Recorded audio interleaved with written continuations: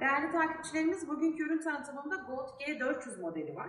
Üründen biraz bahsedeceğim. Öncesi diğer gruplardan ayıran özelliklerden birisi ürünün uzaktan kumandası olmalı, olması.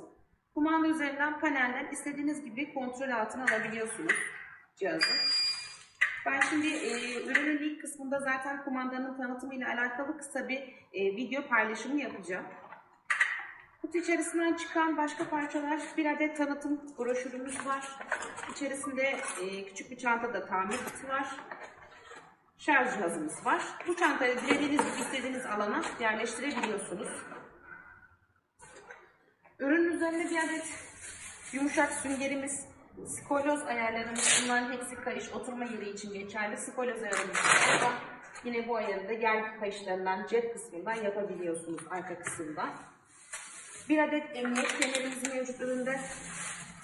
Kolçaklar transfere uygun hareket halindedir, kalkabilir. Ekstra kolçakların yanında ufak fermuarlı ceplerimiz mevcut. Ürün katlanabilir, portatif taşınabilir. Ürünü katlarken öncelikle ayak paneli, daha sonra cihazın arkasında şöyle göstereyim. Şurada bir mandalım mevcut. Mandalı şu şekilde kaldırıp öne doğru ittiğim zaman İndirimizi alayım. Bu şekilde cihazı katlayabiliyorsunuz. Yine, yine açarken aynı şekilde ürünü açıyorum. Mandalım kilitlendi. Kolçaklarını indiriyorum. Motor frenlerini boşaltabiliyorum. Ve devrilmemek için arkada iki adet küçük anti tıpırım mevcut. Yine kumanda kollarını doluya alıyorum. Kumandamı başlatıyorum.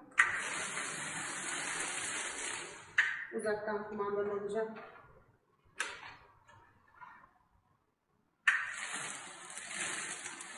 Ön tekerlerde seletin olduğu için bu şekilde oluyor. Şöyle başlıyorsun. Yaratımını yapalım.